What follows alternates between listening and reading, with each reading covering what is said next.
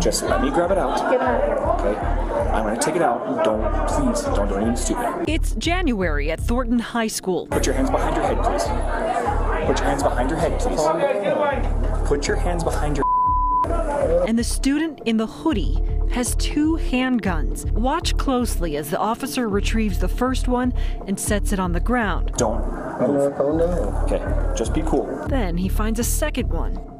The problem solvers obtained this video and these photos of the guns through an open records request. A police report shows each had a magazine and at least one round of ammunition. Officers got the guns because someone said something to the principal after seeing the weapons during lunch. In the Adams 12 district, it was among two incidents about a week apart at two different schools. And our investigation uncovered even more guns at other Metro Denver districts. Denver schools would not provide photographs to us, but found nine guns on campus in the last school year. Cherry Creek School District sent us these pictures of five guns it pulled from campuses since 2019. And the problem solvers obtained these photographs of actual handguns taken from Aurora Public School addresses. They found 10 since August last year. And there's a story for each. This gun, for example, is linked to a 14 year old boy from Gateway High School.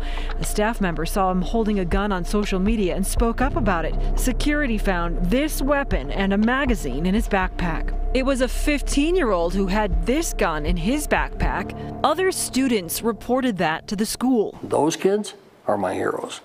Those kids that reported this, we ought to be celebrating them. John McDonald is the former executive director of security at Jeffco Public Schools, where five of the six guns they recovered from students on campus in the recent school year came from Tips to Safe2Tell, an anonymous reporting program.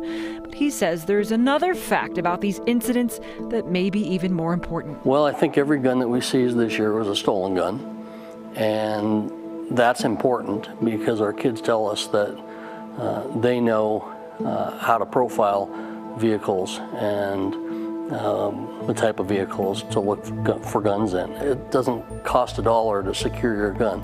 So um, lock it up. McDonald says kids who bring a gun to school in Jefferson County are automatically expelled. We're seeing a trend right now that, that is really um, concerning and this fascination with guns with younger kids than we've ever seen before. Um, it's a recipe for disaster. Records we obtained show Jefferson County completed more than 1,200 threat assessments last school year. That's an examination of kids who are engaging in homicidal, intimidating, harassing, or otherwise attack type behavior. We asked McDonald how many kids bringing weapons to school have also been known to use the weapon. In uh, multiple cases, they fired the gun. Um, and that's concerning. You're not staying with thrill of the thought, you're moving in a direction of thrill of the kill. But juvenile defense attorney Michael Juba sees things differently. The vast majority of kids who possess and or are caught with handguns, they're not planning to use them. Juba recently represented a child involved in Aurora's Hinkley High School shooting and says there are lots of reasons children try to get a gun. Some kids get guns because they're scared for their own personal safety. It's difficult if you have someone who's living in the suburbs trying to understand why are these kids bringing guns to school. You need to look at it from their perspective. So, what are we doing about all of this? Some security experts, including McDonald, have a problem with the way our justice system is set up for disciplining kids when it comes to guns and shootings. Coming up at 10 o'clock, we're going to talk more about the system and the types of punishments kids may get. I'm Lori Jane Gliha, Fox 31. Yeah,